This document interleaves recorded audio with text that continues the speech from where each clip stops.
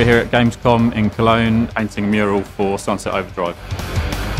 We're a company called I Love Dust. We've been going for 11 years now. Uh, we're a team of graphic designers, illustrators. We first heard about the game and thought it was fantastic. Very kind of punk, kind of spoke to our studio.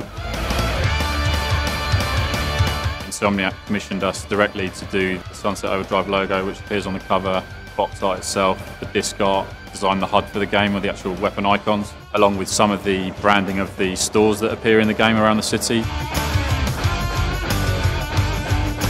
The greetings from idea, which you find on traditional postcards, um, just felt that it spoke to the project and really turned that idea of the, the traditional on its head. We penciled up the design on the first day uh, and we've been moving on to doing the flat colour orange and uh, now the show's getting busier we're moving on to black which is always the most exciting part of doing murals because it's when you can really see all the colours popping and the design jumping off the wall. Working with Insomniac was great. I think there's you know quite a few parallels between us and them. They like to laugh and so do we.